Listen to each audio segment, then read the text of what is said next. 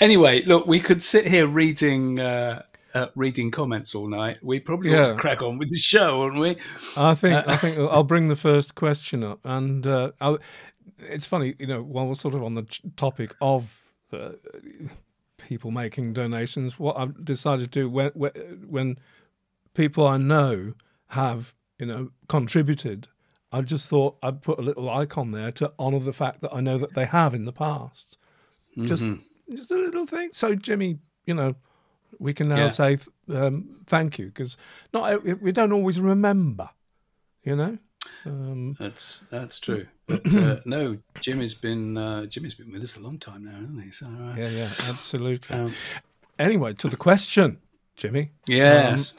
And Jimmy asked, uh, "Can we tell him much about the um, the Nesher Ramla Homo or Homo Nesher Ramla uh, type recently uh, discovered?" Do you know what, Jimmy? We've uh, we we've included your question because, well, hey, rude not to. Um, but the honest truth is, uh, no. Uh, it's it's an interesting one because uh, so basically, uh, for those of you that don't know, um, the uh, Nesher Ramla, uh, it's sometimes referred to as the Nasha Ramla, but it's actually Nesher.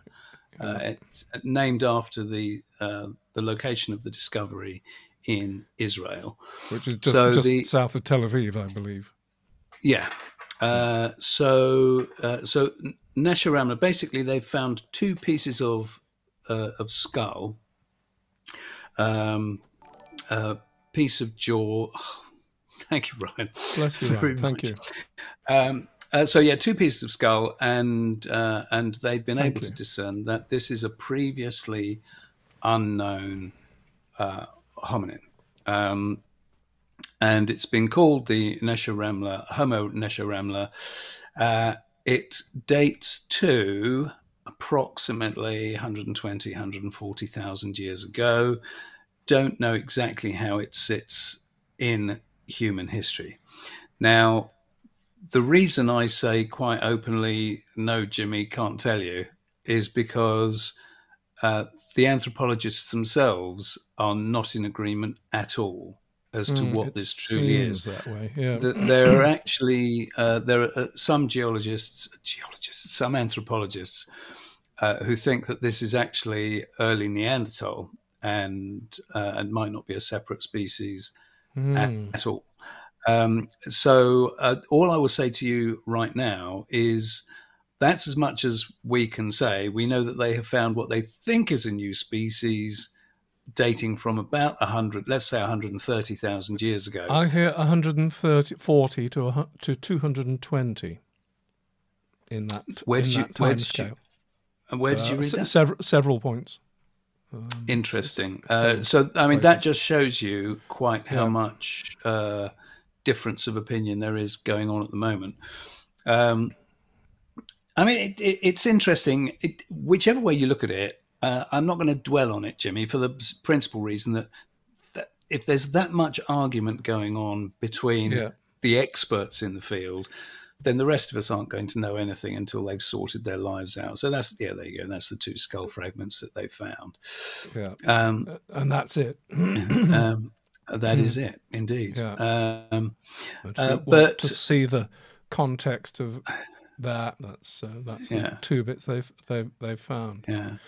But just to, to uh, leave leave it with you, um, you know, go go searching for the uh, Nesher, Nesher Homo Nesher Ramla and uh, the most the headline is that they think they might have found that we've got three species that were not necessarily interacting at the same time. That, that there is suggestion of that as well, uh, but we're alive at the same time. So we're talking about a time when we've got the Denis- Denisovans, though not in this location, obviously.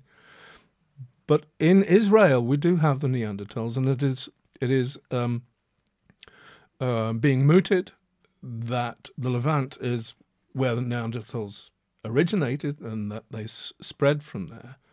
And the thing is that they're looking about you know the possible interactions between this species, Neanderthals, and Homo sapiens. uh, who may or may not have been coexisting in vaguely the same area at the same time. That's what's uh, hmm. exciting mm. about it. But further than that, I don't think uh, we are qualified to say. No, but when we do hear anything, then we shall report back. Indeed. Now, I have to tell you, I have to tell you that our special guest this evening has just joined us in the green room, and uh, excellent. I hope I hope he's happy in there, and uh, we'll bring bring you on, James, when uh, we come to the um, particular question that's been that we think you'd be uh, qualified to answer better than we what we. No, are. no, I think you should rephrase that. That we know you are. No. Fair cop. Fair cop. okay. Uh, on with the mm. next, Rupert. Okay. And it comes yes. from Ian. Yeah, Ian thanks, Rosie. Um, uh, did we abandon wood in favour of stone for structures, or is it just the longevity of stone giving that appearance? Thank you. No, thank you, sir. Um, mm. Hmm, there's a long and a mm. short answer. There's a very long answer to this, isn't there? And there's uh, and a, a very short, short one. Yes, a very short one. yep. Um, um, no, it's the second bit. It's just the longevity. The second bit, giving yes. the appearance. yeah. Do you know? I think a good example to answer Ian here, uh, uh, uh, for me, a good example actually is that uh, for some reason in Britain we find megalithic tombs all over the place. You know, whether it's long barrows or cairns or dolmens or you know whatever, we find these tombs. We find no houses. Right now, we know that the houses, apart from Skara Brae, we know that the houses were timber. They're just all long since gone. Now, you go over to Eastern Europe, and you have virtually no tombs uh, left. Probably because they've all been robbed out and the stones have been used for farming or Lord knows what. But they have the remains of timber houses on a scale that you wouldn't imagine. Um, yeah. And some of you will have heard us talk about this when we came back from the Europa conference that uh, there were a bunch of archaeologists from Hungary and Romania who were giving their findings on various excavations. And I'm not exaggerating I promise you, I'm not exaggerating. When there was uh, one of the archaeologists was saying, "Well, we excavated 330 houses here, uh, 80 here, 30 here, 50 here." The numbers were insane, and these were all timber structures that mm. they were excavating as settlements. So I, I, think culturally, you you have to see it that yes, in Britain we had timber houses and timber structures all over the place, and it just doesn't stay in the archaeological record if there's high levels of humidity. Uh, you go to places like Eastern Europe, where there are some places uh, places where it is significantly drier, and that's why it's still there, unless it's peat bogs where it gets preserved, uh, like the Sweet Track. But uh, thank you, thank Thomas. you. Excellent. Very, welcome. very much. Welcome, um, welcome, welcome to Patreon. I hope you enjoy uh, um, being with us uh, uh over there. Yeah. Hmm. Um, so yeah. Do, uh, do, you, do you want to add anything to that? Well, Mike? then of course you go up to Orkney, um, and uh, stone never went away because it it's so readily available. Uh, mm-hmm. You know, you've got to think in terms of uh, of materials. In a sense, you know, a megalith building was an anomaly. Um, it, we just notice it because we notice it because it, because it is still there. It's it, as you say, it, it's its long, longevity that mm. completely skews our our view mm. of uh, what was going on. Um, mm. and, and megalithic sites are few and far between compared mm. to you know how people must have been existing and how many mm. timber structures there must have been uh, you know, up and down uh, the country. I've just thought another another point uh, mm. on that though that doesn't get discussed very often, and that's if you think of the timber structures that we know about. So uh, you know, palisaded enclosures, for example. And places like you know the concentric circles of timber posts at Stanton Drew, where you're talking about mature oak trees that were, say, a meter in diameter, now, obviously, they made those for uh, serious longevity. You know, they wanted those things to be standing there for whatever purpose. But in terms of simple structures, uh, uh, so um, uh, you know, imagine that you just took fence posts or timber walls. You know, mm. imagine that you split timbers and hmm. made big buildings. You know, you could. I don't want to start getting into kind of the religious side of things because it's uh, it doesn't actually take you anywhere because we don't know. But but if you were actually making walls, you know, if you were splitting tree trunks into planks, uh, then you know that's going to disappear from the archaeological record really quickly. But we know that these vast timber posts were used in lots of places. So what have we lost that were made of, you know, finer planks? Yeah. yeah. Uh, you know, there must have been so much that has just all gone. I will just finish off by uh, casting this little uh, pebble in the pond, and that is, I strongly suspect that uh, a lot of stone structures, stone circles, may have been simply there to support or you know to anchor wooden structures. Yeah. Just a yeah. thought. Just a thought. Yeah. No, uh, before we move on, uh, Graham says, and then there's Arthur Stone is being excavated as well. So that's that's, that's three, three, three yeah. long barrows being excavated. Yeah. Ah. Yeah. Uh, well, I never. All right. Okay, let us move a along. Um, so, uh, and it's uh, to Susan. Hello, um, Susan. Yeah, who is uh, a Patreon, as you can see. And it, Susan's been very generous, actually. I have to say. Thank you. Is there any way to find out how many workers died building Stonehenge type structures? Seems like a dangerous profession. Uh, too true. A stampeding auroch or falling mon- monolith. A cemetery nearby. I don't think we can spend very long really answering this because it's, it's, it's just too speculative for words. And anyway, the, the there's a thing with so many questions. How would you go about finding out? Do you agree, Rupert? Totally, yeah. totally. What you know, what um, evidence would you need to uncover hmm. that would convince you that that was for somebody who had been killed in the process of making, you know, wherever you say Stonehenge. So you know, we take hmm. Stonehenge um, because uh, okay, you can find a burial uh, you know, there's plenty of burials at Stonehenge, but um, what but they they mostly uh, predate. well, unless you're talking about the round barrows surrounding, which true, yeah, different things. But um, yeah, but uh, but you know, what could give you that information?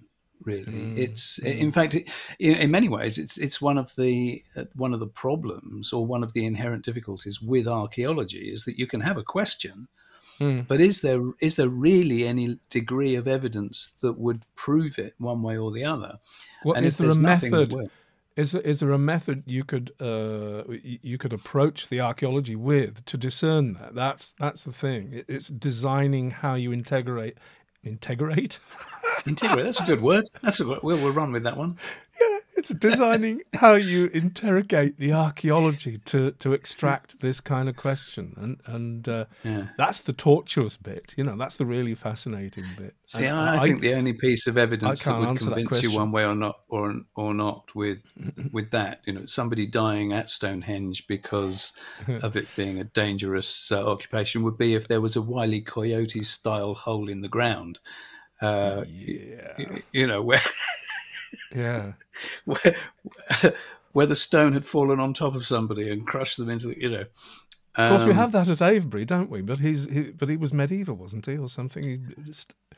Yes, it was always thought that the stone fell on top of him, but I think yeah. it was Mike Pitts that uh, uh, that, that, pushed it. Uh, put, it was Mike Pitts that put that straight. That the, the oh. guy was actually uh, he was pushed under the stone uh, well, there's more than one possibility. It's possible that he was brutally uh, injured and yeah. crawled under there to hide, but he certainly died under the stone rather than it fell on him. Yeah. I'm going to swiftly move along. Uh, okay. I, hope, I mean, yeah. it's, it's, an interesting question, Susan. It's just how how would you know? How would you know? How would we go um, about discerning it? Yeah. Yeah. So if anybody's got any thoughts on how you might know, then do please shout.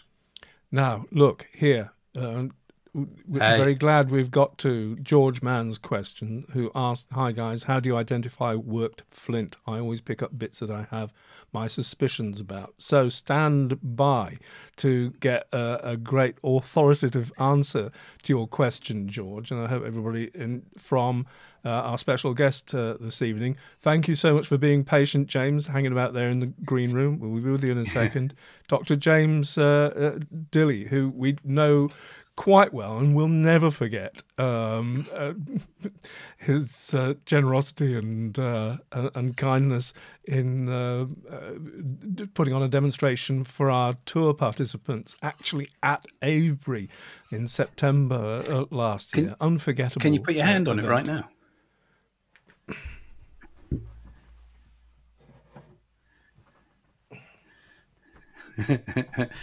yeah, J- James knocked that up in. Uh, Hold on. He said, waiting for Michael to put a light on. Uh, oh, I'll tell you what, my little lamp has gone. Excellent, well done. Yeah, it was on top on top of the Knowth. Um... On top of the Mace head. Yeah, James yeah. knocked that up in uh, in half an hour. Was it half an hour, James? Is that doing you an injustice? Between Something twenty minutes like and half an hour. Yeah. It's just it was a breathtaking thing to watch. Listen, mm. let uh, let me uh, bring uh, James in. Hold on, I'll assign you to guest two. There he is. Hey. James, thank you so much for waiting. Thanks for your patience. Great to see not, you. Not, good to see you both. Uh, How you doing? Yeah, pretty good. Um, we're we're pretty busy at the moment. Um, we're going to be at the British Museum on Saturday for the penultimate day of the oh. uh, World of Stonehenge exhibition. Fantastic! What uh, are you doing? The there? launch of the Festival of Archaeology. So, uh, yeah, we'll be there doing a whole variety of crafts from knapping to casting, and there'll be Graham Taylor there, who uh, is potted history, oh, and okay. Sally yeah. Pointer who uh, I'm sure some of your uh, subscribers watch her YouTube channel as well. So, um, and there'll be loads yeah. of other stuff on. So, if you're in mm. London, and and uh, do do stop by. Brilliant. Well, th- there you have it, guys. Yes, be there, be square. Oh, you're talking about the Festival of Archaeology. Is that the Festival of Archaeology taking place at Butser, Butser Farm? Uh, well, it's for the British Museum uh, oh. launching oh. their component of it. At, oh, right. Uh, okay they do it every year. I, I, think they have a designated place that they launch it each oh. year, mm. but each museum seems to also have their own launch. So, right, fair enough. Yeah. Listen to the to the question in in hand, James. Um, what? Oh, next. Let's go back one. There we go. Well done. Yay. Uh, how do you identify worked flint? Uh, there's a there's a multitude of answers to that, depending on what the tool is, I guess. Yeah, and um, after Rupert's email this morning, I was thinking about it during the day. How how can I easily answer this question um, during the chat with, with a, a, somewhat finite amount of time because you know people like myself and lithic specialists they'll, they'll spend days doing workshops where you'll sit there and watch a powerpoint about oh this is the ventral side and oh that's a, a negative scar and this is this and this is that. And uh, yeah as you said uh, there's many ways that you can answer that question and many approaches to answer that question as well. Um, so I thought it'd be best if I just grabbed a couple of flakes and a couple of natural pieces, so at least then I can point to some of the characteristic features. Okay, terrific. I'll put you full screen, so yeah. That, uh, well, ho- hopefully it will so, show up uh, yeah. fairly well. I mean, I'll, I'll, hold things close. So I thought yeah. I'd start with a really nice, obvious flake. Uh, it's one that I've taken off, um, and uh, yeah, just work from there really, and, and just get more difficult my uh, webcam looks a little grainy with, with a little bit of. Uh, you're, you're all right. You're, you're all right. okay. Uh, well, that's fine then. It'll make my job easier. So this is a quite a large flake that I took off uh, probably a few weeks ago, um, and uh, it's quite a large one. You're not often going to see flakes like this just hanging around, um, apart from maybe at flint mines or some of the Paleolithic sites. Um, so don't necessarily expect to come across flakes this kind of size too often. But the reason I've got mm. it is because the features that will be macro scale, a normal size flake, I'd really have to be holding close towards the screen so you can see it all. Yeah.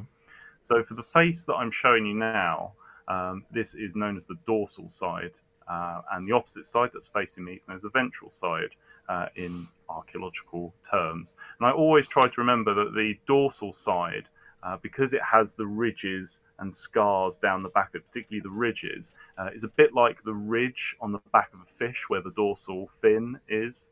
Uh, and that, mm-hmm. that's about as easy uh, connection as I can make. The, the ventral mm-hmm. side, as I turn it around, is is usually pretty flat and uh, generally fairly featureless in comparison, apart from some key bits around the top. In terms of what you'd be looking for, I guess, in for the key features, uh, the ventral side should generally be uh, convex, uh, as you can see on this flake as I tilt it around, so you can see that it's generally convex, although that's not a standard rule. Um, because you can see at the same time for this flake I've selected, it is actually ever so slightly bowed. Um, so perhaps not the best example, but it's also an example of these set parameters ain't very set.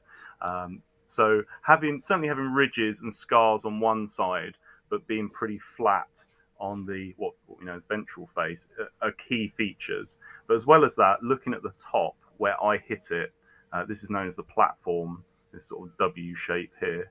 Um, mm. Sometimes, uh, I don't know if you can on this one, if I put it really close, you might be able to see these fracture marks or these points of percussion. Yes, um, we can. Bring yeah. it across. Uh, they can be a bit of a giveaway um, to, that something has hit it. And certainly on a piece like this, uh, it's had a couple of hits out the top. You have to excuse my dirty fingernails from being in the workshop. um, but you do get platforms at, uh, at, two sides of a flake, so it's a, a bipolar removal rather than uh, a unipolar removal of the core. Um, and off that platform that's usually quite flat, but tilt it around a little bit more. So got the nice flat platform. Behind mm. it on the ventral face, I've got this bulb of percussion. Uh, and you, this particular feature you'll get with anything uh, that has a conchoidal fracture, so flint, glass, obsidian, even baked porcelain, they should all flake in the same way and they'll all have this set characteristic. Yeah. Um, is, is that a result of the way that energy travels through the uh, through the material, through the yeah, that's that's very much it, and and because it's a, a, homogeneous material, I'm often asked, "Oh, does flint have grain to it?" But it doesn't yeah. at all. Oh, okay, um, yeah, it, it's sedimentary um, as a material. It's actually biosedimentary, uh, build up of silica um, that forms around uh, sponges, sea urchins. That's why you get all sorts of fancy colours and bits and pieces in hmm. flint. So I'll move on for that because that pale color isn't the easiest to see, but I'll, I'll move on to an equally large flake, which has a fantastic bulb of percussion on it. Um, as I move it in, into the central area, and hopefully, as I turn it and the light sort of hits it oh, wow. in different directions, I'll yeah. bring it back into the middle. You should be able to see that really obvious bulb on the side there, and certainly that point of impact on the top. So yeah, really obvious bulb. And as I turn it round, really obvious impact point just off the side here. Um, right. This flake is actually from Happisburgh that we picked up off the beach um, earlier in the year. Um, a bit really big Paleolithic flake, um, just a waste flake. It hasn't got any retouch on it. Mm. But for me, that that's such a big distinctive feature to see that a big heavy point of percussion, big bulb off it, and that does have that ventral face that is concaved as well. It does have the ridges on the dorsal face, which is technically convex, but it's not so obvious. But for me, in that checklist, having two or three key features is usually a good sign. And, those two or three key features is that it has a nice flat platform, it has a very obvious point of, uh, of strike, I guess, where the point where it's been hit, mm-hmm. has the nice big bulb of percussion, and those are the three main features. It, it does have the other features to it, but the, those first three are quite recognizable. Mm. If you look at thinner flakes, um, so this is a flake from Grimes Graves um, from uh, the later Neolithic um, mines there. Uh, as I hold it up in the middle as well, you can see it has a much, much finer platform, but you can still see it has that quite distinctive, almost half circle. Mm. My camera will focus a little bit better. Well, let's see probably got it in the other float, but you should yeah. be able to see that slight half circle as yeah. I try and work, line my finger up. So we've gone over the platform; it's already got that. Um, and it's got that uh, bulb of percussion as I turn it on its side. Line out to my camera because I'm working in reverse. You can see that bulb of percussion on the back. We've got our ridges. You can see from previous flake removals, they're on the dorsal side, and it is technically convex. And the really, really fat, flat rather, ventral mm. face uh, is indeed. So I move my fingers, concaved. So we've got all of those distinctive features that the scars uh, and the ridges are on the convex side, the dorsal face, and the flat. And sometimes, again, whether you can see these as I move it in the light, um, you sometimes get rings of shock that go through the stones. Oh, me casting yeah. my eye across to see if I've got any other flakes that show it a bit better. Uh, not so much. relying on light a little bit. So the, those, I guess, for flakes are the key features. Um, those are what to look for, and really, it, it takes practice. Um, I mean, ju- just to give an example, um, but during the day when I had a bit of a break, walked over. We've got some fields near us that have a lot of Neolithic and Bronze Age activity on there. There, there I think by they, local landowners are hoping to develop on them. So hopefully there'll be a big excavation at some point, but a fairly short hmm. walk over said fields produced those again very recognizable flakes that you can see the flake scars on the back, that mm. dorsal face, yeah. and uh, that is the convex side, and the ventral face as I turn upwards, you can see very flat um, and concave, yeah.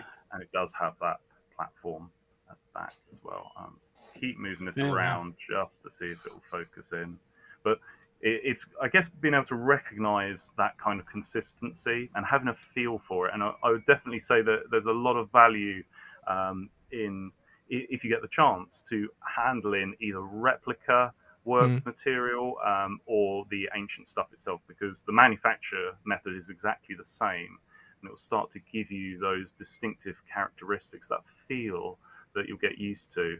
Um, and certainly, if you're you've had any experience knapping, you can see worked flint from a distance. You really can. It just sits in a certain way. It has a certain color to it sometimes, mm. um, depending on the local. So I've brought some um, some naturals just to, I guess, um, go okay. against um, what uh, what I've been uh, already looking looking at and talking about. So I've got this piece of flint here, um, which, for all intensive purposes, could easily be a Paleolithic flake. It, it has a sort of flat top to it here, just about here again. Yeah. Yeah, yeah. As it catches it, um, really flat top to it here. It's got the ridges on what would be the dorsal face, so it's it is convex again. Um, it's got the um, curved uh, ventral face, and it has in fact got uh, a, a, few ripples on it. Um, any other features on it? Not really that would tie it in, but it, it could easily be a flake, but it ain't. it, it is totally natural. It, it just doesn't quite have the scars in the right direction, but it, there is that feel to it as well. And, and, this is where that lithics specialist would come in. That if someone brought this to me and said, "I think I found a flake," I, I would totally understand why they'd picked this up. It, it does have three, two or three of those features that uh, are there to identify. So that that was that would be a really tricky one, and could understand why someone picked that up. But I'm often presented with um, things like this, uh, which uh, could be a hand axe on first glance. It's got a couple of what appear to be removals down the side. It's got a bit of a point to it. Um, you know, if you hold it quite uh, securely in your hand, you could sort of use it as a bashing implement. Um, and that, uh, I guess, stance of holding flints like this, and I'm hoping you're not going to capture a screenshot of me sort of looking determined. could do, could do.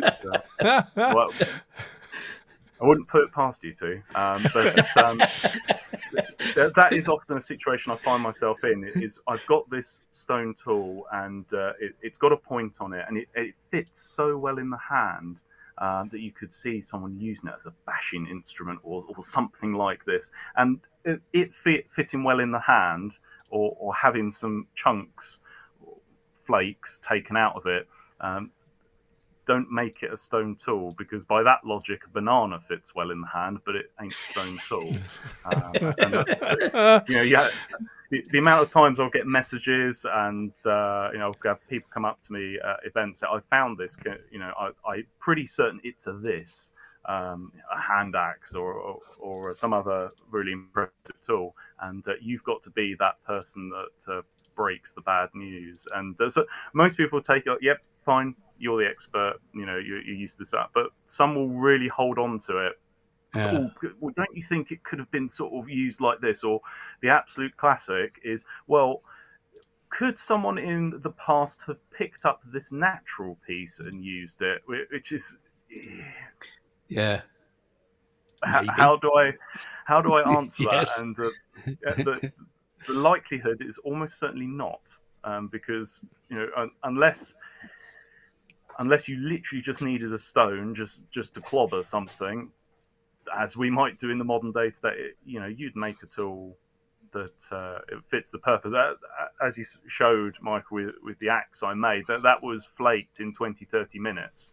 Yeah. So it's not a huge investment um, to go into making something like that. So if you needed something a bit more precise, if, mm-hmm. if you had the experience, it can be made with fairly limited investment. So you, mm-hmm. you wouldn't put up with using a, a natural piece of flint, you know, ju- just because you know, yeah. it's a sort of useful shape. And I guess from flakes, actually looking more into tools, um, which you're less likely to find, um, but it does happen. Um, I guess what you're looking for in the types of feature is how the flakes look on the surface, um, not just a piece of flint that's sort of been nibbled around the edge where it's been knocked about in the ground. So for very small lump of flint like this, um, it has just had a single chunk taken out the side of it. And it's not a sort of notch tool or anything like that. It has just been bashed against another stone at the beach through attrition. Um, and any kind of field damage like that will generally not be very invasive across the surface. So they won't be very long flake scars. Um, I'll always be slightly jealous of this, but Em actually found uh, this uh, at Happisburgh. Oh, um, yes, it's a, a, very very little hand axe, um, but um, it, it is probably a piece of Neanderthal work. And uh, she recognised um, that. I mean, it was just on the floor. She didn't have to wow. dig for it. No, nothing too tricky. But as I start to turn it, this side is a little bit more patinated, but you can start to see in the light the flake scars and how they're quite distinctive across the surface. So you mm-hmm. can certainly as I hold it there, you can really see the ripples of that yeah. flake just above my finger that's, there. That that's um, quite beautiful. Absolutely fascinating. I'm just going to say, uh, hold on for a second, uh, James, because yeah, I have to apologise to people. Um, I've lost my ability to see the chat um, in, in, my. Uh, I've uh, my, my chat has frozen. Uh, yes, it, it, has. So I've I've just had to hop over to uh, YouTube to see if there's anything catch, to catch up with, and I apologise to anybody that's asked a question, you know, has made a comment that uh, uh, uh may have merited um, uh, a, a, response from Jan. I'm just scanning it, the, the, chat now to see if if there is anything like that. Um, so um, just one moment. Yeah. Nigel Sadler says, uh, "I don't think I can bring this on screen. No, I can't because it's it's it's not in the it's in the wrong place." Uh, Nigel Sadler says it only takes twenty to thirty minutes to knock out an axe, but you need five thousand hours of practice to do so. Actually, yeah, yeah, and true. Well, you know, I'm, I'm glad he said that because I, I I didn't really give you that full uh, an introduction, uh, James. I mean, I know you're known to quite a lot of our fans, but you know, oh, well, no, that's. Uh, I think it, you you you gave me a a, a good introduction, so uh, it's appreciated. There there is a link uh, down below in the dis- uh, in the description to James's website, Ancient Craft. Uh, and you'll see yes. the the the massive background and and but he, I mean you know James has a doctorate out, out of this. Um, the experimental archaeology he does is invaluable uh, mm. to um, from educational purposes, but also to academia it, itself. You know, when discerning these things, it's, it's, one of those things where you come across. It's all very well. You you tell it best, Rupert. Uh, but it's all very well uh, trying to work things out from behind a desk, but uh, actually getting things done, getting your hands dirty, and what, hitting. What you mean, Bruce Bradley? Bruce Bradley, yes. Bruce Bradley, yeah, our friend Bruce Bradley, the American uh, archaeologist. Yeah, he always says uh, about hunting, really, and uh, the people who analyze whatever about hunting techniques. And he said it's amazing how many people write papers about uh, Neolithic hunting and Paleolithic hunting when they've never even so much as gone out and shot a rabbit. Um, and uh, it, you know, it's it's just so true. You know that mm. y- you need. You know, it's like James's experience, hands-on working with stone, to give you that understanding of what the potentials are within it. You know, there's only so much you can glean from. Uh, you know, it's mm. that old thing of you could read any number of books on how to ride a bike. It doesn't mean that uh, you're going to be able to ride a bike when you get on it. Mm. Um, mm. It's that really. Do you know what? Talking about your various skills. James, I'm willfully changing the subject here, but I couldn't help but notice the Nebra Sky Disc on the shelf behind you and wondered if it was one that you'd knocked up yourself. Yeah, just, just casually, casually knocked up. But uh, there we go. You can uh, see it in uh, all of its glory. So, uh, uh, and what, you... seeing, seeing, as the Stonehenge exhibition is is coming to an end, um, yeah, then yes. Um, but uh, yeah, made from hammered hammered sheet of bronze, um, yes. and it's Em. It was actually Em who did the gold work on this. Um, oh my is god! It? Yeah. So uh, no, uh, I I, I like the fact that you put the uh, the other arc on the uh, uh, on the left hand side of it. So oh, here's, here's, the thing: you haven't been tempted to do the Great British Museum uh, Stonehenge exhibition heist, then? I've got a story to tell you. I've, I've really Dang, yeah, dangle in. I can see you, you dangling you, in above the, uh, you know, the it, glass. It's not quite as dramatic as that, but uh, we and, and uh, if anyone on, in the chat or in the future from the British Museum watches this, I'm sorry to begin with. so what what I'm about to say might might. Hi Jennifer. Know, hi hi. Yeah yeah. Neil, just Duncan, just Duncan, yeah. Ignore, just skip forward to the next next bit, please. Um, Em and I went in to uh, the BM for the members' evening, um, and we did a living history display um, up in room 36, above the entrance. Um, and we had a few hours beforehand, and uh, they let us into the um, exhibition to have a little look around. And we had a load of the replicas with us because we were about to display them. So I had the Nebra Sky disc. Em's been working on the Folkton and Burton Agnes chalk drums um, alongside everything else. So we thought, well, what, you know, why don't we take them in with us? Because we can get a picture of us standing next to the actual thing. So I'm sure you can see where this is going. Um, so, um, and I thought, well, we won't won't walk in blazingly. I'll just sort of have it in my bag because you know you don't want to be just wandering around drawing unwanted attention. Um, and so we went up to the, the chalk drums first, so and could uh, get the picture standing next to it. Um, and uh, Julian Thomas was standing in front of us and uh, talking about it. And um, David from uh, David Dawson from Wiltshire Museum appeared behind us and said, "Oh, hello! I didn't expect to see you here." And then and Julian Thomas turned around. Oh, oh, this is a bit strange, isn't it? So uh, we were standing there, in front of the chalk drums, uh, Em sort of wanting her picture, but had the chalk drums there. Then they realised the chalk drums were there. Security started to think, what on earth is going on here? As we were trying to take this picture of the three of us, they couldn't work out how the drums worked. Also, in the case, but case? was one out and... of the case. It's you know, it's, it's something going on. It's a bit like that meme of Spider-Man and the three Spider-Man sort of pointing at each other. Sort of, it's very similar. And then we made the mistake of once we'd said uh, goodbye to them, of we, we know you can't take a picture next to the original Sky Disc, but you can take pictures of everything else. So yeah. we thought, well, we'll take a picture of me with my Sky Disc next to the rest of the horde um, and some of the other things because it's the highlight object. I got it out and then took a picture, and a member of security came over and said, um, "You can't take pictures."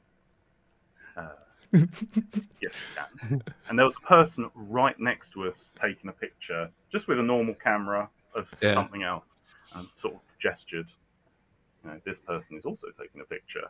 Yeah. And uh, well, uh, uh, you can't take pictures of the disc.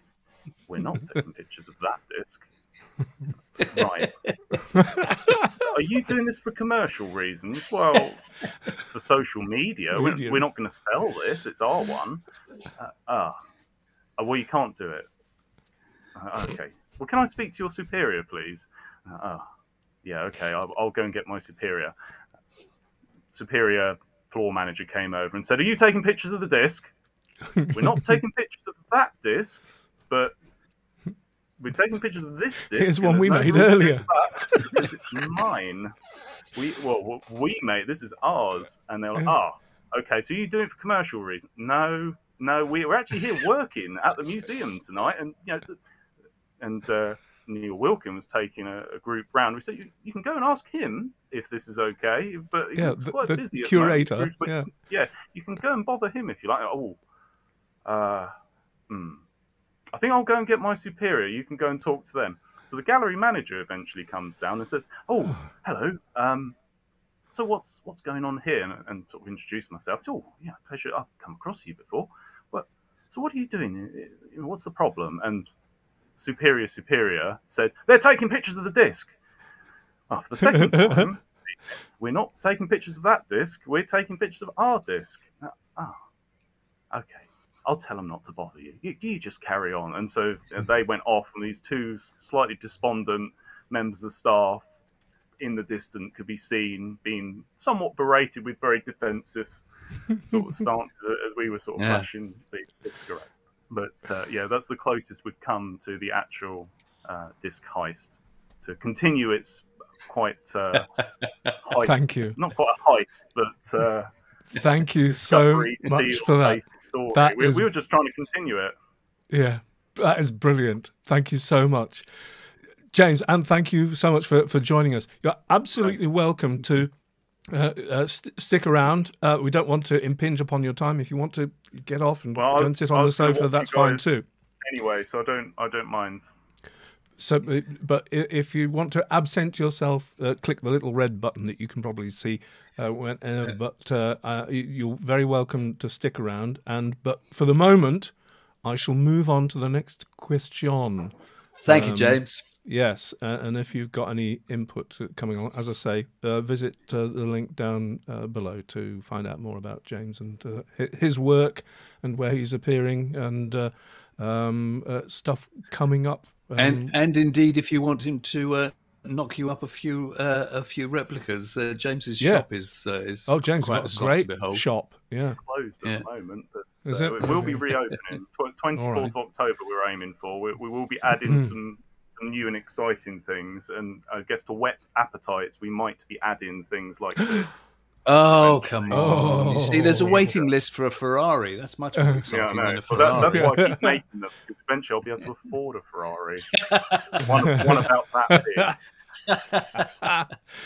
oh, I said I. Uh, oh, I'm getting. I'm getting. Uh, I'm. I'm getting the the uh, comment feed uh, back. I don't know why that went away. Anyway, for the time being. Anyway, I'm going to move on.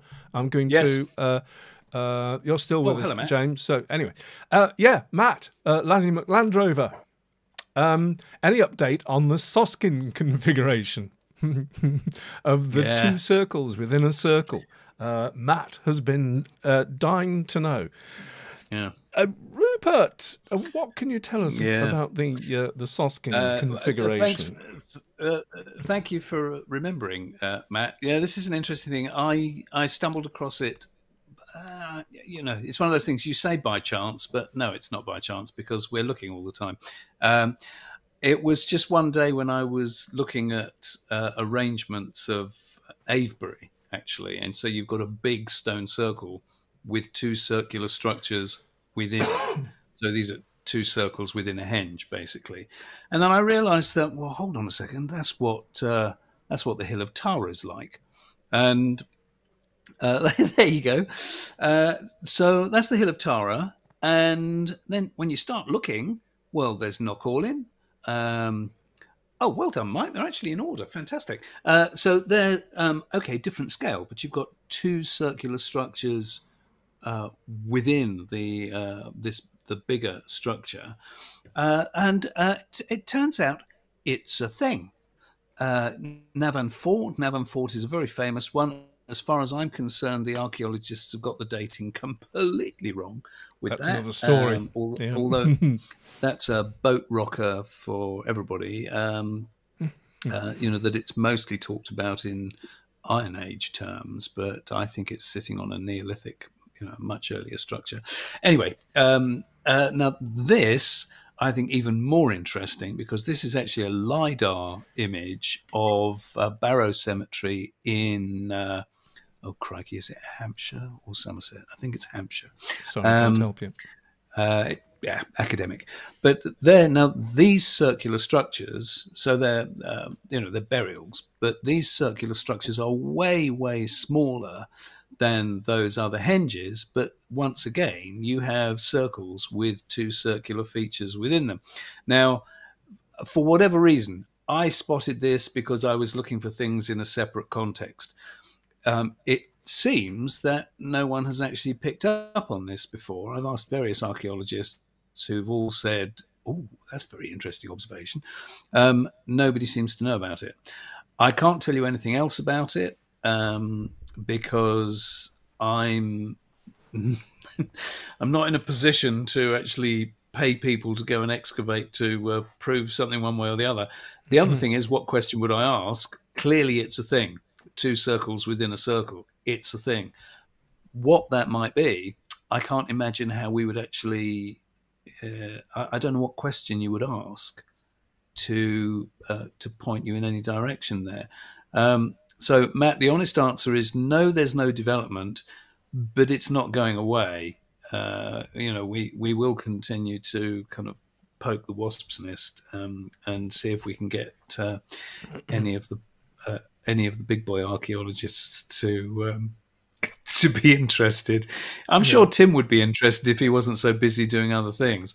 Do you have any thoughts on that, James? Does it mean it's uh, um, Um, not, I guess not so much. Other than I, I have come across it a few times um, with uh, certainly some of the sites you've already mentioned. Um, and as soon as you, you brought up Avebury, um, as well as the two uh, circular structures, you've also got the, as Josh Pollard did, I think uh, on Digging for Britain or a similar program, a Mm. reference to the sub-rectangular structure that they came across in geophysics as a Yeah. squircle.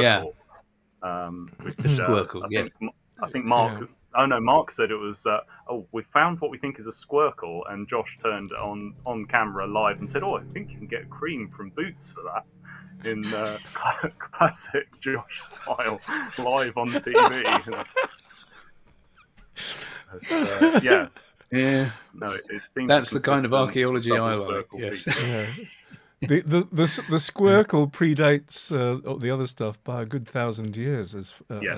the squircle predates the other stuff by a good thousand years. As Yes, I, yes, it does. it Um, does. Yeah. but anyway. it's it's just um, it, it's interesting that it appears uh, you know with that lidar image you can see that it, it's something that does appear on much smaller structures as well so uh, i don't know what that might tell us but but the point is it's clearly a thing Mm, uh, mm. so um, yeah uh, thanks for the question matt you know when we do find anything out we'll let you know it's um, yeah Yes, the wheels of prehistory guys grind. they grind very slowly they grind exceeding small, or whatever the quote is. Anyway, um, so we have another question from uh, Jim Cook this time. Um, cup, cup and ring marks. I mean, that's another lovely one. Have you? Have we any ideas about what we think they might be? Could they be a Neolithic religious symbol? Um, are they found in certain areas where more Neolithic relics are found? I'd love to hear your thoughts. It's another biggie, actually, uh, Jim. I mean, there are a lot of people. There are a lot of people uh, all over the place with an awful lot of thoughts. And of course, you've ex- got to extend uh, this whole thing into the area of uh, general thing of rock art it, itself. But as for cup and ring markets uh, uh, markings, it's it's a good idea to keep it narrowed down to that for the uh, um, for the uh, for, for, the time being. I tell you what, um, best to so people who may not know what we're talking about, just give a few examples here. Um, that uh, is from uh, Achnabreck, which has got massive examples uh, all over the uh, the hillside up in uh, Kilmartin Glen, uh, in, in, Scotland. it's another site near barely a couple of miles away from Achnabreck called uh, Cairnbaan. Um, mm-hmm. Uh, here's an interesting one. Um, Kenny Brophy could tell us all about this. This is a, a small detail from the Cochno Stone, um, not far from uh, Glasgow. And what else have we got? Um, that's Achnabreck again. Um, that's Achnabreck again. But different and, ooh, view. oh, look. Who's that? When Michael had hair. Um, a beard by the looks of it, yeah. uh, at um, uh, at uh. Yeah, while we were filming yeah, Standing with yeah. Stones. Uh, uh, where where do we want to go with that? I mean, cup and ring marks. You find them. You know, You're a bit off centre. You're leaning out of frame, Rupert. Just so you know. There you go.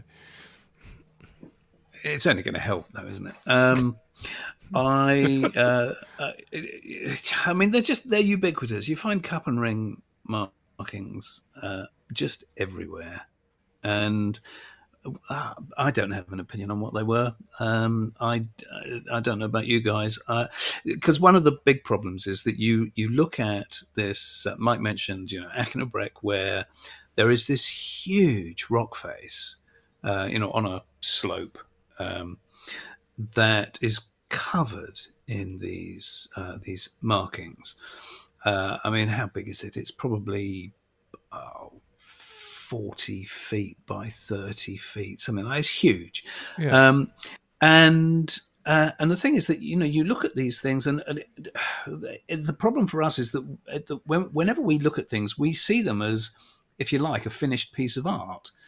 But the, the, the simple fact is that you know this is something that could have developed over a thousand years, two thousand years, a century. We just don't know. You know that it could have been something that culturally um, you know, people would come along and, and do it. It could have been something that people came along en masse and it was a big, uh, you know, uh, engraving party where mm, everybody mm. did it all at the same. It just there's no way of knowing that. Mm, mm. um, and uh, you know, all right, there are a lot of theories about ritual aspects, and maybe they were for uh, holding water, you know, holding rain, so that the sky reflected the stars in them and things like this.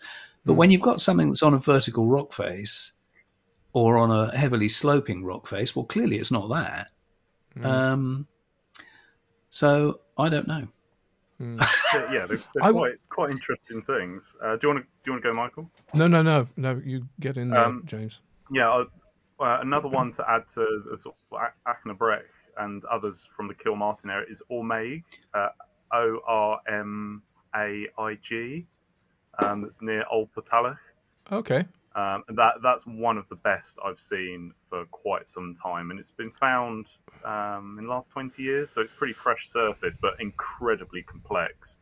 It, oh, makes yes, Achnabreck look yes, very yes. basic in comparison. Um, but um, interestingly, that the um, the cut marks take about ninety minutes to make, um, as uh, Hugo Anderson Whymark did uh, quite a few experiments with uh, chalk pebbles um, quite, quite, a while ago we now. Let's get Hugo um, Anderson Whymark on, you know, really. Yeah, yeah. Sorry, We've tried.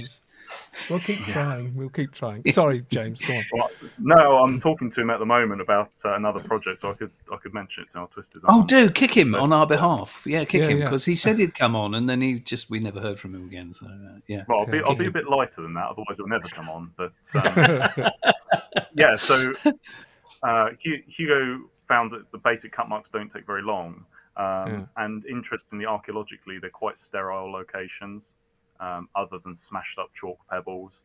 Uh, and it was suggested, as with met a lot of other sites, that these chalk pebbles were quite important as offerings, but the chalk pebbles were the tools for actually doing um, right. chalk quartz pebbles um, for the uh, actual making of them. But other than that, they're, they're pretty sterile.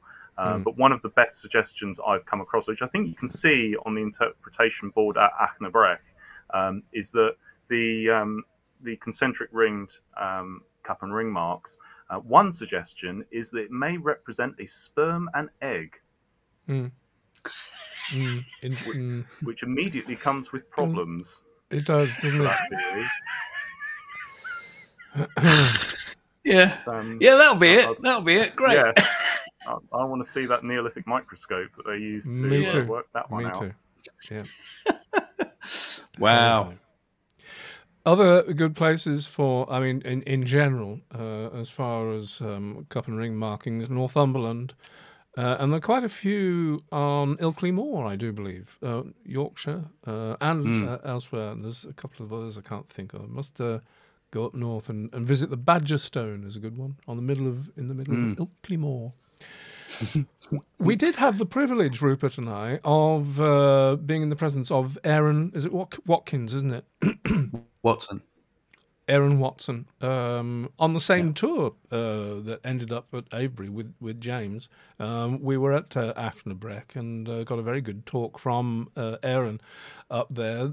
Another intriguing aspect, certainly as far as Achnabreck is concerned, that they have found masses of um, uh, quartz, white quartz, uh, ar- around them, and uh, the supposition uh, is that the um, actual carving was actually being made with uh, the quartz stone. So there's this fascinating imagery of people in the dark, sort of making these things in the dark, and there being um, illuminations from the percussion, uh, sparks and percussion and uh, luminescence. Mm uh, as uh, if that was part of it, there's a kind of uh, magical, you know, there would yeah. be a magical aspect uh, to it. So that's another little bit of I- intrigue. So I don't think mm. we should do uh, any uh, much more on on that. Um, we should think about uh, uh, moving moving along. Anything more you wish to add, Rupert? I can see you're no, mesmerised by the chat. That, uh, yes, um, I, no, I, can, I can see. Uh, Con- Condide says marbles game is my favourite theory, and uh, it, yeah, certainly if any of you have actually seen the Cochno stone, you look at that, and uh, and the thing is that that there were people the last time they uncovered it. Uh, Kenny Brophy was telling us that there were people. You know, you're talking about people in their 80s, 90s, yeah. whatever. And they said that, yeah, when they were boys, they used to play marbles on there before yeah. they covered it up. Yeah. So I, that's a lovely idea. yeah. You, once you've got that idea in your head, you, you it doesn't go away. You can't, no. you can't unsee it. Hello, my my camera's gone off. Is that your camera gone? Ah, do you know what? The view's better already. Oh, thank you so much. There we go. For some reason. Ah. I'll, ca- I'll switch to camera number two, shall I? hey, you have the technology, one. Yeah, um, I do. Never mind. Um, the trouble is that you have all the technology, so you're the only one that can put up the next question, anyways. yeah, it is true. Uh, right, let's see who uh, that's uh, that's from. Genie X, how you doing? Hello. Uh, art, looking at the sophistication of Göbekli, Göbekli Tepe and Karahan Tepe, 10,000, 12,000 years ago. It kind of makes much later megalithic sites a, a little less sophisticated. Were we in the UK, a rural outpost that had to wait more than 5,000 years or so uh, to get the builders in? uh, well, there's. Uh, there's your actual long and short answer, isn't there? There, there, there is. Yeah, which ones yeah. do we want to take? yeah, well, well, it's, it's, you that wants to get back down into the village square for the rest of the party. So you know, take your take your pick. Well, do you know what? I think the more important answer, actually, I mean, all, all joking aside, uh, Jeannie, is that um, it's not just Britain that was in a megalithic doldrums for 5,000 years. You know, megaliths didn't tip up anywhere for another however many thousand years. Yeah. That whatever culture it was that um, constructed Göbekli Tepe, and okay, talk amongst you yourselves. Argue, I'm just about to at- attempt a mid-broadcast battery chain. Oh, the man! It's fearless. Um, that uh, you look at other sites in Turkey uh, or in that part of the world generally, really. Uh, take places like Çatalhöyük, for example, which is not megalithic. Uh, you know, these huge uh, structures of, uh, you know, whether it's mud buildings, they're, they're hugely sophisticated. Um, completely different style, but the point is, you could argue that because their uh, their their periods overlap. We know that Çatalhöyük, uh, you know, there's nine thousand years, ten thousand years. Uh, so it is possible that these are cultural overlap. It's possible that uh, you know that people who built uh, Göbekli Tepe were, uh, were, were the people who were living in structures like you find at Çatalhöyük. We don't know, um, but uh, but megalithic culture across Europe generally is way later, um, and you can uh, you can bring any number of arguments into play with that. So you know what happened to bring about the demise of the peoples who who were building places like Göbekli Tepe. And you know, there's theories like the cosmic air bursts, where a comet doesn't actually make impact with the planet.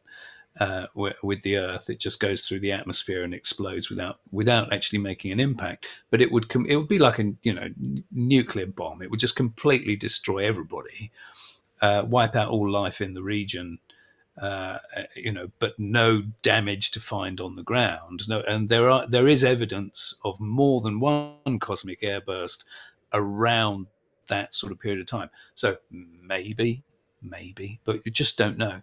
Uh, so the straight answer is yes, there was something pretty sophisticated going on in that part of the world ten thousand years ago, and they just disappeared um, and uh, and everybody else took an awful long time to get big rocks going again. You know, there's an interesting point to make about uh, these kinds of cultures, though, and that's if you think that humans have been humans for a very long time. We've been very sophisticated as animals. We've you know we've been the same animal for a very long time, but every single culture that you can think of has existed within the last ten thousand years right? Göbekli Tepe, you can push it back another thousand or so. But generally speaking, every culture you think of uh, within 10,000 years. So, what might have happened in, let's say, 20,000 years ago, 30,000 years ago, where people were still pretty damn sophisticated? You know, you look at some of the jewelry made by the Denisovans, who are, you know, long gone, with beautiful jewelry. Well, if you're capable of making beautiful, polished jade bracelets, then you're probably pretty good at doing quite a few other things as well. Uh, but no evidence to see for any of that. So, you know, I think there's an awful lot of stuff that we just don't know. It's just been lost. Uh, yeah. lost to the archaeological record. Really. Such a gap. mm. Mm-hmm. It's amazing when you think about it how how much and it's it's foolish in a way how much we rely upon the existence of stone monuments to trace people. It goes back to um, yeah. you know the, the earlier question, and it's a fool's errand. Yeah. It, that really doesn't tell us a story. They're just flashes in the pan. You know, mm. there's these uh, wonderful ideas that probably spring up very quickly, and it's also a fool's errand to go looking for any kind of evolution of stuff. Mm. Human beings are so capable. Once you get an idea, boof, it's there. uh, and if, if you know, then what are you laughing at now? so it's just saying human beings are so capable. And I was just looking at you and me and thinking about a conversation we had this morning, thinking, yeah, yeah not so much. yeah. Yeah, uh, anyway, yeah, sorry. Anyway, you, you you know what I mean. I, I have this thing of things appear appear and disappear very very quickly in the record, and and we shouldn't waste our time looking for evolutions of, of things. It's, mis, misleading.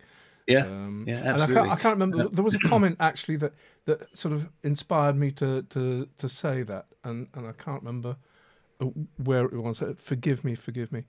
Um, yeah. No, sorry. Carry on. Carry on. I'm, I'll, All right, I'll catch up. Uh, but you know, it, I'll catch up uh, later. Uh, Matt has said like the Tunguska event, for example. Yeah, mm. exactly that. Exactly that. Yeah, mm. is what I was talking about. All right. Yeah, go on. Well, shall we move on? Yeah. Boom. Oh, Steve. Steve. Uh, hi there, Steve. Um, thanks for this. Ah, yes, Stonehenge exhibition observation. Um, like you, I was very surprised at how small the Knowth mace head and its cousins were, which added to their beauty somehow. Yeah. The Star Carr eye holes in the antlers also seemed to be far smaller uh, ahead than I imagined, which led to an observation of all the Bronze Age daggers and swords, the handles of which are very small indeed, all of them. If even if they were made to be ornamental, surely they'd still fit a hand. So, how much do archaeologists know the stature of Bronze Age persons? From what I saw, it got me thinking are we six footers? Are we the giants of uh, the, of myth and legend? Sorry, I didn't read that very well, but uh, we get well the, enough. Uh, just, uh, I think there's, there's one thing. Uh, yes, there's there's one thing I want to clear up uh, straight away though. That's not really relevant to the sizes of things. It, you you mentioned Steve the Star Carr eye holes in the antlers. They're not eye holes. They're probably where it was tied on. Um, it's uh, oh, you're not going to tell me you've got a replica of that as well? For God's sake, James. Um, fantastic. Uh, so yeah, those holes oh. they would probably. Uh, um, Sorry, um, hold that up again. You... Hold that up again, because I wasn't. Oh, there we go. Yeah, fantastic. uh, yes, I was going to try and show a photograph that's yeah. in the uh, thing. No, that's not. Uh, that's not it, is it? Yeah, those are uh, so. Yeah, uh, if yeah. you if you think how they would have been used, I mean, the, the, that the the the, the antler frontlets were probably worn with skins, uh, quite yeah. likely, and that was just that was how they were secured. Mm-hmm. But um, but apart from that, size wise, do you know? I thought about this, and I thought the uh, the, the best way to illustrate uh, this really is that uh, you might think I'm strange. I like a knife. I have knives for all different occasions um, uh, because I do a lot of stuff outdoors. And here is one of my knives that I use a lot, right? And uh, and here is another that I also use uh, a fair bit um, because it's just good for cutting little pieces of you know whatever. And do you know it? Uh, I mean, I jokingly said with the the Knowth Mace head and its uh, its uh, sister one, which I just think is the most beautiful thing ever, the one that's got the sort of tear not teardrop eye, the kind of eye shaped. Uh, you know the one I mean, Mike. Um, yeah. I, I, mean, I refer to them as toffee hammers. It just made me giggle. Um, uh, uh, but I, I, think that that's the one. Oh, God, that is just such a phenomenal piece of work. Yeah. Um, but but the fact that, that these it, things it, it is if I put my fingers in, it is. It's yeah. It's that. It's that that's size. Kind, that's kind of that's Come on, James. Have you got a replica of that there? Not yet. I'll tell you what. I, if it's not obscenely expensive, I'll buy one off you at some point. It's the most beautiful. I think that would be obscenely, obscenely expensive. It will be obscenely expensive. Yeah. yeah. yeah. but uh, I, I think, you know, all joking aside, uh, Steve, that we need to be very careful uh, with interpreting size uh, to mean something. We can't conflate uh, these kinds of things. You know, um, mm, uh, uh, you you can go back to um, even medieval uh, swords, for, for example, where the sizes of the handles, uh, handles, the pommels. Um, uh, you know, that some of them are ridiculously big and some of them are ridiculously small. It was all down to uh, fighting techniques, uh, how people wanted to balance them in the hand, and things like that. So I, I don't really think we can uh, we can look at size as indicative of um, uh, the size of the uh, the user. Put it that way. You no, put, and I was also going to say, and um, perhaps James, you, you, can speak to this a, a little bit. Is that it, a lot of it may have to do with availability of materials. Like I'm presuming the availability of uh, uh, bronze itself, the raw materials for bronze itself. Uh, you know, th- th- these were precious uh, items and precious materials. and if you could make something in a smaller size that did the job or performed the function, you know, be it uh, or em- emblematic or symbolic or what have you, then it would make sense to make a smaller one with the materials you've, you've got available. I don't know. I, yeah, I think that I, I, know what you mean, but I think mm. that you'd change the blade length before you change the hand length. You'd want it to be comfortable in fair, the hand. If it was an if it yeah. was an inch shorter in the blade, it would be academic, so long as you could hold it properly. Yeah, yeah. Well, I, I mean, say. I guess combating the different parts of the question in that the Knowth mace head is made from quite an unusual kind of flint, which doesn't occur in very big pieces um, mm. from Ireland. And there have been yeah. suggestions that that sort of um, whitey, browny, orangey color of it um, is to mimic some of the antler mace heads, uh, which also have spirals on them from from elsewhere. Um, so as, as you can see for the picture there, you, have got a, a, texture which could look a, a, like worked antler, and uh, there are examples from the UK. There's a fantastic example in I think it's Weststow of a Neolithic antler mace head um, mm. with very not not quite as ornate, but very similar. Um, there is on display in the World of Stonehenge, and I think it's from one of the Wilsford burials. There's a mace head very similar to the one I have here, but it's it is tiny. It's, it's really very very small mm. much smaller than the mace head, but beautiful, really fantastic piece of stone. Mm. Um, and the, I think there, there is that um, element of having a, an unusual material um, yeah. when it comes to mace heads, regardless of the size. And it, it's quite interesting that as you get into the early Bronze Age, for some of the mega sort of battle axes you get are made from the most I wouldn't say rubbishy material, but, but aesthetically not interesting whatsoever, but they're whopping great things. They're, they're yeah. really are lumps. Um, whereas the really tiddly stuff is quite fine. But for the bronze swords, I the, the balance you've got is that for the first kinds of swords, for, for rapiers, and as you go into early leaf swords, swords haven't been made to a level uh, without being too dismissive of Bronze Age metalworkers. People were learning what makes a good sword, um, so for Bronze Age sword, for the replicas I make, apart from the metal pommeled ones, they just have wooden scales that are riveted in place, a bit like uh, Rupert's knife. Uh, that's very similar, but with a wooden pommel, which there's plenty of evidence of. That will make the sword very top heavy, which is one way of fighting. Certainly, if you're fighting from horseback, which we know that people could ride horses and had bridlery furniture, so you know it's not too ridiculous to go that far.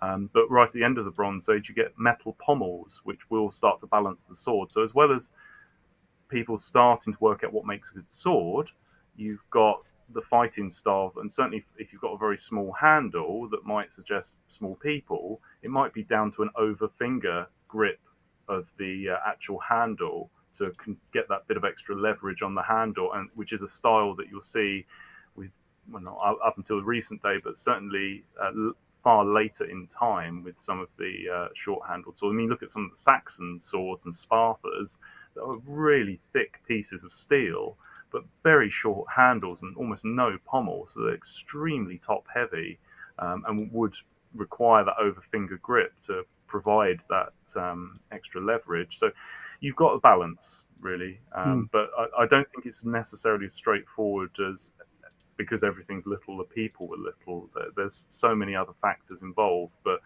there mm. probably wouldn't have been huge amounts of the population that six foot at the same time. You, mm. you, you, did have people who were over six foot, but they, they were probably mm. less common. Yeah. Uh, I've lost. Know, that's fascinating. I've lost, Thank you. Uh, I've lost access to the chat again, so uh, forgive me uh, if we're I'm, missing anything. I'm looking at it on the pop-out chat. Uh, mm-hmm uh, which uh, so Lynn says, "So are you saying size doesn't matter?" Um, it's how you. no, no, Lynn. Um, I would never say that. Um, uh, I think. Let's not um, go there. um, uh, I think we should move on to. On. Yeah. We we should. I just want to pick up because, in fairness to Steve, because he he's commented back. Oh, sure, sure, sure. Uh, he said, "True." I don't know what you were saying was true, Steve, uh, but he said true. But the handles were barely three fingers long. Uh, yeah, I, I, think. Well, as, as, James just said, you know that if you've got, depending on how, you, where am I? Uh, depending on how you're actually holding the blade, you know that you know, that, there's all manner of ways of doing that. The other thing is actually to get to the crux or the end of your question, uh, where you said, "Were we the giants?" Uh, you know, of myth and legend. The other thing is that uh, if you've seen the, you might not have seen the photographs. Um, uh, when we were filming uh, the stuff that we've been filming for our long barrows. I was just film. about to say, yeah, well mentioned. uh, oh, okay. Have you got something there? I can't. Um, no, it, I haven't. Sorry. Okay, shame. It's just we were filming. Uh, we were lucky enough to have the uh, uh one of the skeletons and uh, and other bits and pieces from the Hazleton North Long Barrow excavation. Uh, so we had the most complete skeleton from that excavation and that chap was taller than me. Yep. Now you might say that's not hard, but, but, he was he um, was eye to, he, he would have been eye to eye. yeah.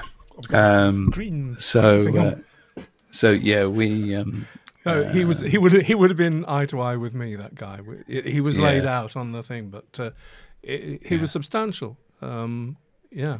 Mm. Uh, the Flint Knapper guy. Mm. Uh, there he was, yeah. six thousand years old. Yeah, um, yeah. Uh, but uh, no, nice question, Steve. Thank you very much. And mm-hmm. Uh, uh, do you know what, James? It always makes it an interesting chat when you come on. thank you very much. Yeah, cool. Let's give Abby Sue a hearing. Hello, Abby Sue. Archaeologists and others tend to talk about our ancestors honouring their dear, depart- honouring their dear departed. Do you know of any talk in academic circles about how to distinguish between loving, honouring burial sites and ritual human sacrifice sites? To clarify why I ask, firstly, there's the new technologies that we're all excited about, along with the new hypotheses about cultural practices and new ideas about how populations spread. So, why should human sacrifice be considered as being practiced elsewhere when it could have emerged anywhere in the family tree? Discuss. You can start. well, it's, it's, perfect... it's really it's a good question. It is a good question. Uh, I, I think that uh, depends which cultures you want to look at. Really, mm. if you're uh, you know, if you're going to sacrifice uh, somebody, all right. So you've got people like the Maya who are a little bit mental, um, uh, where you know if you're going to be uh, ripping people's hearts out of their chests or cutting their heads off or what have you. Um, that kind of ritual slaughter, you know, that's clearly not what you're going to find in burials. If you're asking, you know, you, you mention uh, sacrifice as opposed to uh, loving burial. So from that point of view, you're, you know, uh, I mean, the, the, closest kind of comparison I can think of is uh, is when you look at some of the Inca mummies, for example, where even young children were sacrificed. Um, and even now, you know, they just look like they're asleep. I find some of those Inca mummies to be deeply moving. You know, I've got, uh, I've actually got one photograph of one girl who was probably about 12 years old, and she just looks like she's still sleeping. Uh, so, uh, so how would you tell the difference if you're just looking at bones in the archaeological record? You know, and the, so they've got no uh, no butcher okay butchery marks. You see, if you've got somebody who was stabbed as a sacrifice, and we'd look at them and say, well, butchery marks, or they died by violence. Uh, how would you interpret whether one was sacrificed or whether it was killed in a fight? Um, don't know. But, good question. We do have some evidence, though. I mean, the bog bodies are pretty clear, uh, a, a, lot of them, as being uh, sacrifices. Is that not so? That's I. I can never make up my mind. I, I I don't have a problem with any of the theories, but I uh, I've always looked at the bog bodies and thought, well, is is that ritual or is that execution? You know, was that just a you know was that a robber, a brigand, and they dispatched him? Mm-hmm. Maybe. Um, uh, you know, how would you know? You can't know. Um, no, yeah, I, uh, I, I guess that's where you. No, carry on. No, no, no, you. I was just, I was just going to say that's where you get that problem with um, you know, prehistory, and out, out, of that thousand-piece jigsaw puzzle of all the answers and culture and language and colours and all the rest of it, we've got five bits that are left to, to work with, yeah. and it's it, quite hard to interpret. I mean, for the things like butchery marks, it's what what are butchery marks? Uh, is it are yeah, is it marked uh, show removal of flesh to preserve flesh to make it easier to cook, or is it just marks that show removal of flesh? Because that one of them only shows that you were defleshing a body, not butchering mm. for cannibalism. And there's yeah. certainly evidence from the Neolithic that people were intentionally defleshing uh, people to expose their bones that they'd then yeah. Uh, inter yeah. into tombs, or they would leave them um, for excarnation, and all the little bones wouldn't be represented because they would get mm, lost mm. in the platform and dropped out. So, which can look very mm. brutal, or would have looked very brutal, um, but clearly was done with a lot of care and reverence. Um, hmm. so, uh, a very, very difficult one to answer. Yeah, uh, David says, David Potter says Lindow man, and also, oh, what was that site um, yeah. up and down the da- Danube somewhere, where, where, uh, from the uh, linear, linear, band ceramic period that uh, seemed to have shown signs of um, um, oh, uh, yeah. yeah. Uh, of butchery and um, cannibalism. Senior moment. Senior, Senior moment. moment. Yeah, we did a yeah, thing. um, many years ago, just yeah, uh,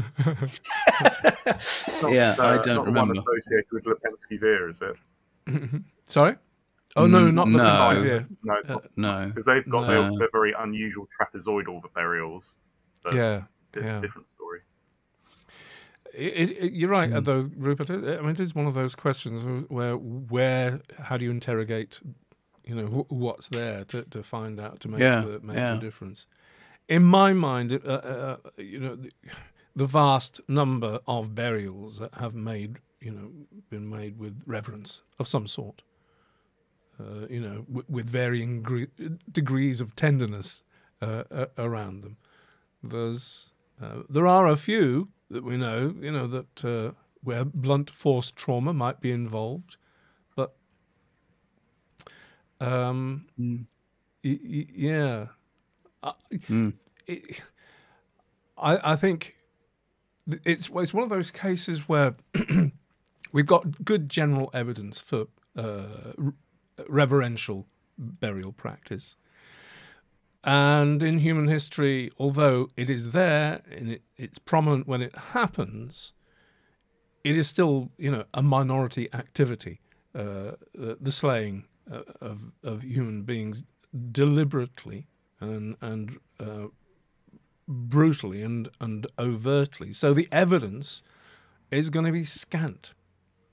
Um, uh, so you're not going to mm. see progressions, like I was saying before. You just you're not you're just not going to be able to join up the dots. You'll you'll get examples here, there, everywhere, but you won't be able to join up the dots to make a a general consensus uh, of it. Um, I hope uh, we're not really answering um, your your question.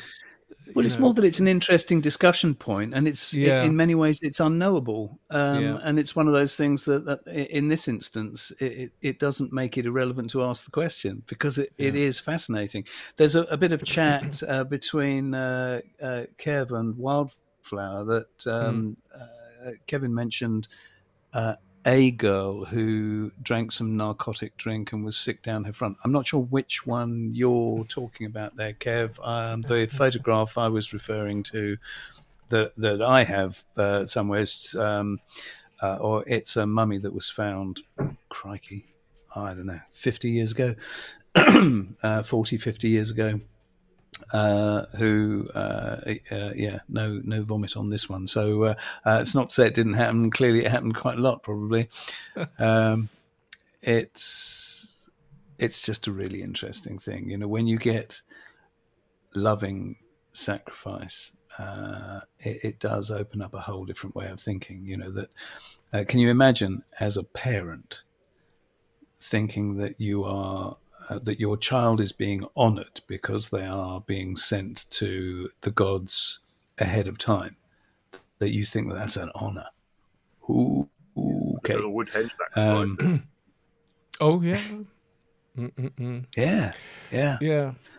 Uh, anyway, despite I, I, think we really should uh, move on. Um, indeed, indeed. Are, are quite um, late in the Thanks for that, Abisu. You, Rupert, you still not got back down to the party in the square. I uh, haven't. My uh, wife will be looking at her watch. She doesn't wear a watch, so she won't be. And we um, do she's have, probably enjoying herself far too much and not even notice that I'm not back yet. And we do have a couple of questions to still to, to get through. So forgive me if I press on. Andrew, hi there, Andrew. I haven't seen you in the chat, but thank you for the question. If agriculture began independently in numerous regions across the globe, does this not imply that humans may have been doing it much earlier than we currently think?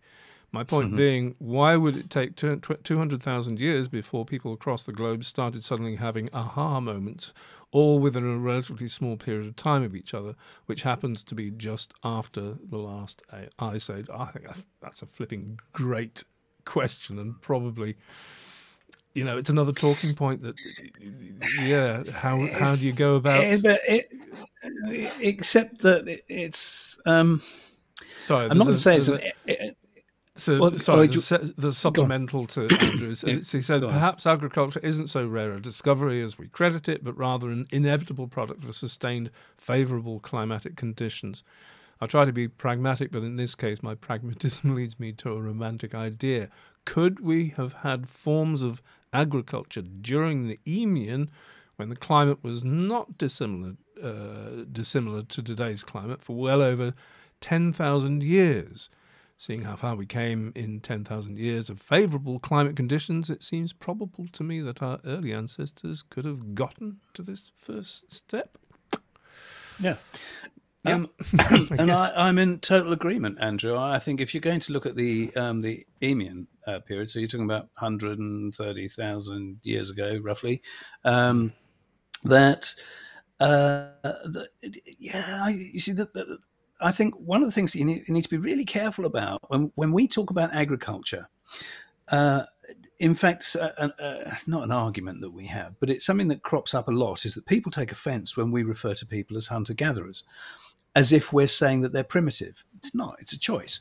Um, that uh, you know, you can have a, a, good, sophisticated settlement. Take Göbekli Tepe as an example. No evidence of agriculture around there.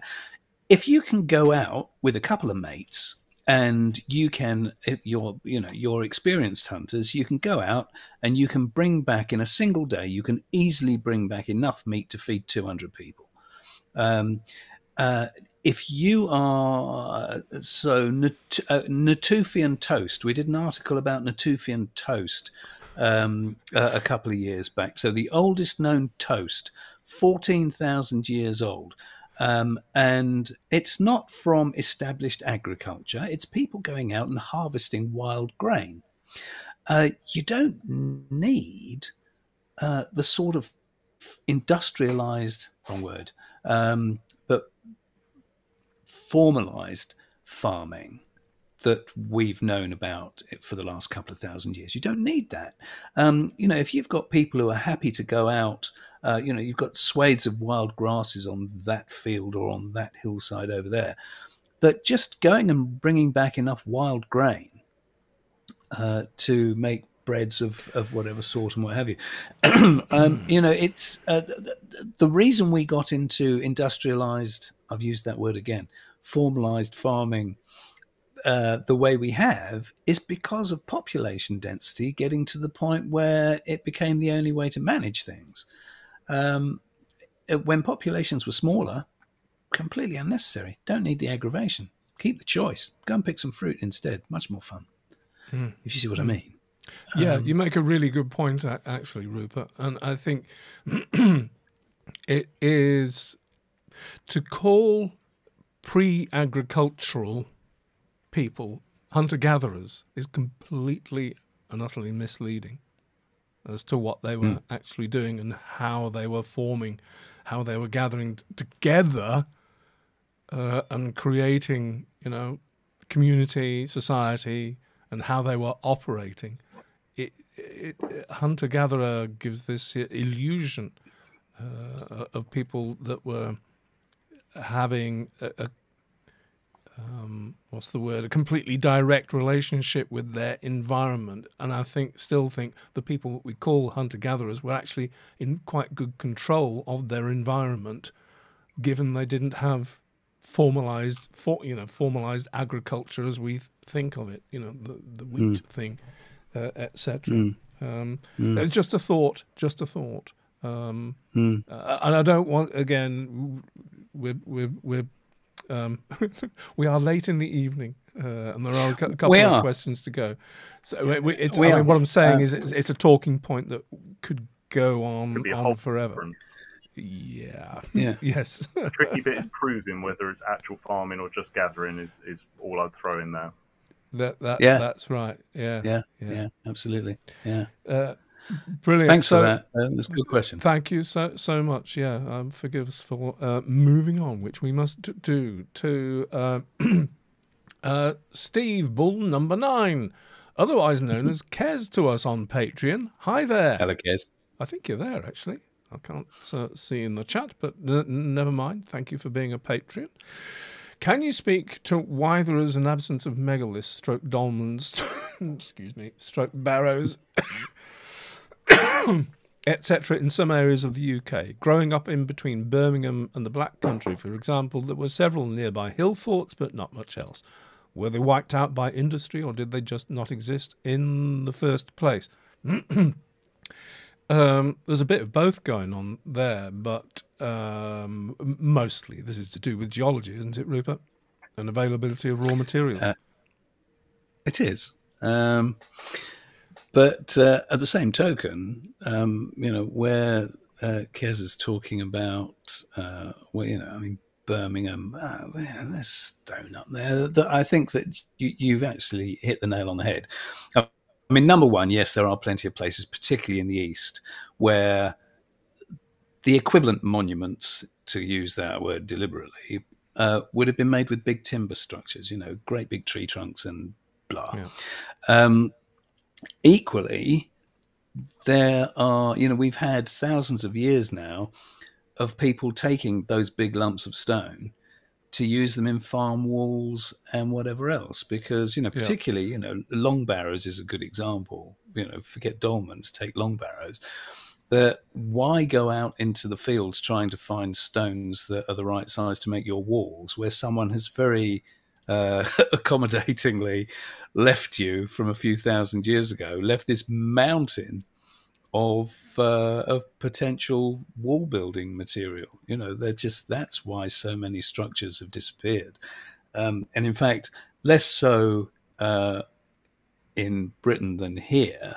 But you can go to, you know, if, some of you will have seen the film we made a couple of years back. Um, called Dolmens of the Languedoc. And mm. we went to all the sites down here near where I live. And you can go to, there's one Neolithic settlement where there's still a fair few dolmens and what have you to see. But you walk through farmland to get to it, and you see these old derelict farm buildings that have got. I mean, there's one in particular that the back wall of this ruined house has got you know what was probably a capstone just making up the back wall. It's like well why do i want to put 300 stones there when this one will do the job? You know it's uh, it, it's just it stares you straight in the face that well that's where they went. Um, and in fact, I, do you know what? I'll give you another example.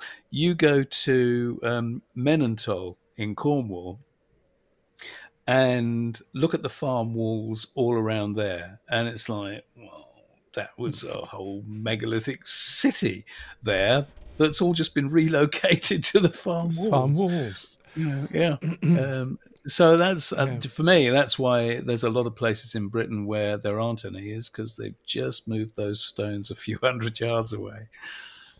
What's the megalithic site uh, in Manchester? oh, um, it's it's uh, it's in a park now or something. Oh no, it's it's been it, moved. It's but it's remain the remains of a of a, a huge burial. Again, um, you know, moved about a bit. Uh, in, I don't know if it's relevant to this conversation. Um, but uh, yeah, you just uh, you just wonder. Um, but like I say, I think it's a bit of both. I mean, obviously there are parts of the country where there is no the raw materials aren't there. You know, I'm talking about over to down in the southeast, uh, uh, particularly, and you just don't get uh, stuff. Um, not you just don't get the megalithic stuff at all. Um, is it the Great no. Stone you're thinking of? Is it? What? What'd you say, James? A natural erratic, the Great Stone in Manchester. No, no, no. It was housed in uh, in one of the parks um, for for a bit, and I think it's it, it's got a special, been put in a special uh, installation now. It's got it's they're wonderful stones. They've got uh, it, couple, it they've got a couple is, rings. Isn't there isn't there something like a garden centre or a cafe or, or something? Just mm, it's, it's, ring, rings, rings something. A bell. But there are cup and ring yeah. markings on these yeah, stones. Manchester. yeah, in, in Manchester. Um, I can't find it. Um, anyway, academic, academic. We'll spend academic, ages yeah. debating that one. Calderstones, Graham, Graham, Graham. Oh, That's in Liverpool. Well. Manchester, Liverpool, of course, Calderstones. Yeah. Ah, you, not Graham. far away. Yeah. Do you know? It's not far away, Manchester. I, I well think done. I think we should. Sometimes I just think we should uh, set up this show for some of our fans to run it because they know more than we do.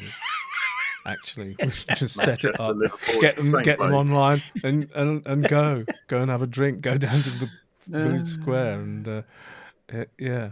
Uh, I I think we should move on till the last uh, question of all. I'm sorry, I'm still not seeing comments uh, too well, so forgive me if uh, we're not uh, uh, addressing stuff as we should. Oh, there's still two questions. Um, Kev, stone circles. We're with stone again. We're megalithic again. Henges and megalithic structures across Britain have no commonalities, similarity, etc. Have do have commonalities, similarity. Does this point to the disparate tribes having some tribes having some kind of common cultural element, e.g., animal husbandry, religion, uh, etc.? Yeah. Yes. Well, moving on. Yes. it it it probably does. And again, it's another perspective to look at everything through and see what comes up, see what uh, comes back at you once you make that uh, start to make that inquiry. Mm. Uh, it, it really, really, you mean it probably does? No, come on, it does. It well, does. there are so Why many other elements to it as well. Like we said before, you know, the avail- the availability of uh, uh, of um, um, raw materials, uh, the commonality of the basic structure of the circle, these kinds of things. Once you get a straightforward idea in the head, that then you know people run with it. Um, but it, it, it do, does speak to. Uh, you see, I mean, so many monuments are actually really defined by the type of rock they're made out of. That you know that may appear, oh, that's a cultural difference to that megalithic site? Well, actually, no. You couldn't possibly make that site from over there over there because your your stone, your quality of stone is totally different. You can make a. So you're uh, saying yes then. you can make an analog of that over there, but it probably wouldn't look the same. It'll probably look like it's been made stylistically different. Tinkinswood. I mean, mm. look hmm. at Tinkinswood, and then look at Arthur's Stone. Look at Tinkinswood, and then look at Stony Littleton. But you know, boom. but it is, but it, but it is a it, it is a cultural commonality, though, isn't it? That's the point. Cultural you know? commonality, you, it, yeah, yeah. Um, uh, uh, well, that, that's the point of the question, isn't it? You know that. Uh, so if you've got, you know, Stanton Drew in the south of, of Britain, you've got Long Meg in the middle of Britain, and you've got the Ring of Brodgar on Orkney. They are Yeah. more or less equidistant from each other, and Yeah. they are. Uh, they're within the top ten. I can't remember where is Long Meg something like the seventh largest in Britain. Yeah, yeah. Uh, the Ring of Brodgar's the third largest. Stanton Drew is, d- d- depending what characteristics you're including, but you know But it's either the is the- largest or the second largest. You know, it, it, it- but so yeah, commonalities across. Yeah, definitely cultural commonalities. Definitely. But I mean, Ke- Kevin, you, I mean, re- really speaking to one of the great quests of prehistoric archaeology, it's tracing uh, the development of, of, of cultural influences. You know, in which direction they travelled, how did they travel through time and and space. You know, uh, uh, the, um, the grooved ware travelling down from Scotland and ending up at Durrington Walls.